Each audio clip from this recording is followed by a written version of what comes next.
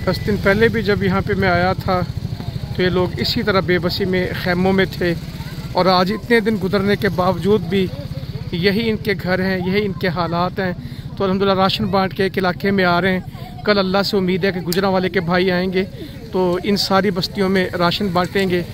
ये लंबे चौड़े इलाके हैं, इधर भी, उस तरफ़ भी ये जानवर लेके, अपना खाना पीना लेके यहाँ पे बैठे हुए हैं।